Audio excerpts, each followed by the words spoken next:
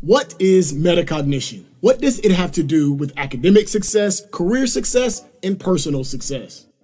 Metacognition rests in the center of academic, career, and personal success. We've long accepted that knowledge is power.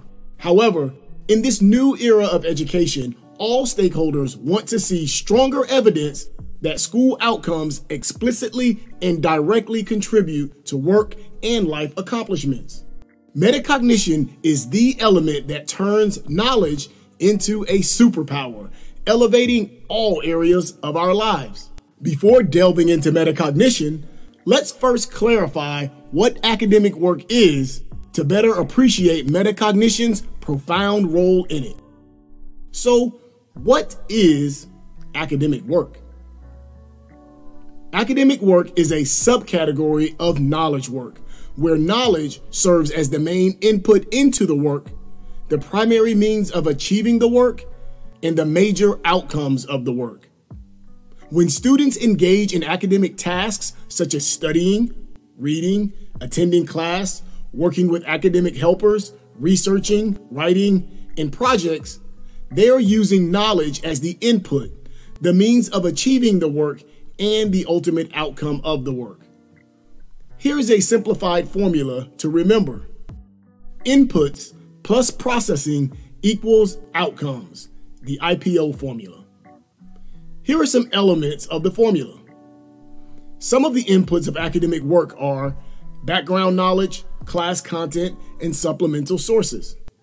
To process that information, students must use their cognitive skills, mental operations, or work sequences. The outcomes of their processing are new knowledge, specific answers to questions, generic knowledge about the field, and so forth.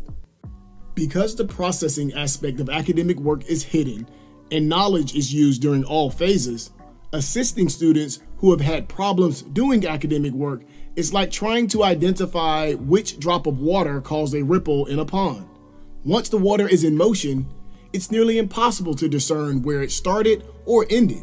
Similarly, in academic work, once students generate the wrong quality of knowledge or outcome, it's difficult to pinpoint whether the problems stem from the inputs, improper processing, or the wrong conceptions of the outcomes. Often issues such as a lack of background knowledge, time management, or apathy are cited as reasons for poor academic performance. However, these widely held conclusions are not only incorrect, but they are also unhelpful because they lead to ineffective solutions while not addressing the core problem. So let's summarize what we've learned about academic work before moving forward.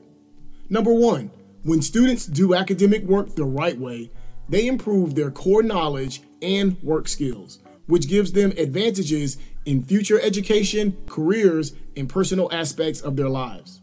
Number two, academic work involves using knowledge as the input, processing, and outcomes of the work. Because knowledge is used in all aspects of academic work, determining the source of academic problems is the most challenging aspects of the work.